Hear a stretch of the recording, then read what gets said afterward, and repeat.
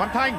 Văn Thanh ở à, lượt luân lưu trong trận đấu gặp Iraq là người thực hiện đầu tiên. Còn bây giờ, Vũ Văn Thành sẽ là người thực hiện cú sút quyết định. Trận chung kết chỉ còn cách U23 Việt Nam một cú sút này nữa thôi.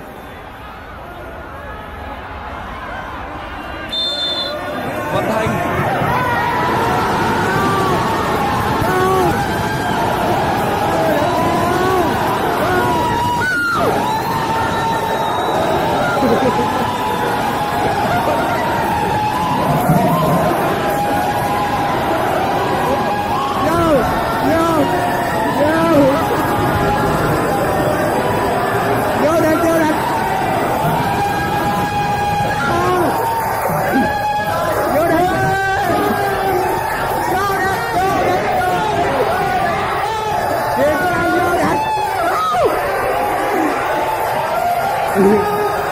Thank